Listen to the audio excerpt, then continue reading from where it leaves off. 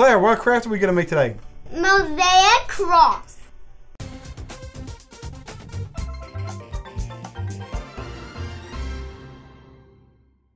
All right, so let's get crafting. Let's get crafting. So let's start with the center. This one's gonna go here, just like that. Go ahead. So, are there sometimes things that you have to do every single day? Yes.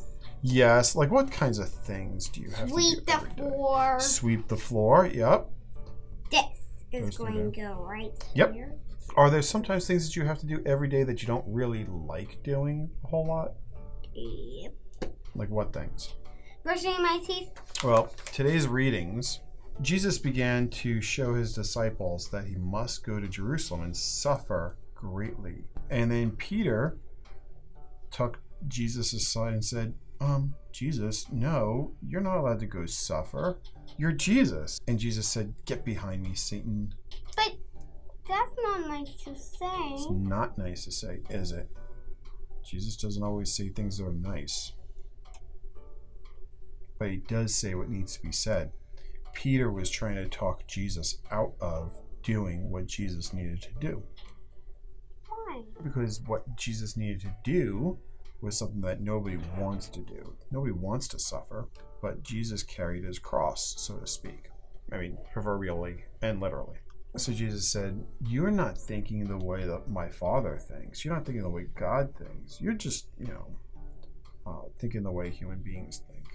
Which is true. That's what that's how Peter was thinking. But Jesus wants us to think with the mind of God. Whoever comes with me must deny himself, take up their cross, and follow him. Whoever wishes to save his life will lose it. Whoever loses his life for Jesus' sake will find it. Remember we did the craft with the magnifying glass? Mm-hmm. Yeah, we talked about that then too. What profit would there be for one to gain the whole world and forfeit his life? Then Jesus said to his disciples, Take up your cross and follow me. Whoever wishes to save his life will lose it. Whoever loses his life for me. Finds it. So, what does it mean to take up your cross? Something about worshiping and living, and something that you will find the cross and help him as my servant. hmm Yeah, uh, we would be serving as God's servants if we take up our cross and follow Him. So you remember those things that you have to do every day, and some of them you don't like to do, Yeah, but those are the things that you have to do. I can offer those things that. So you can do things with an attitude of gratitude.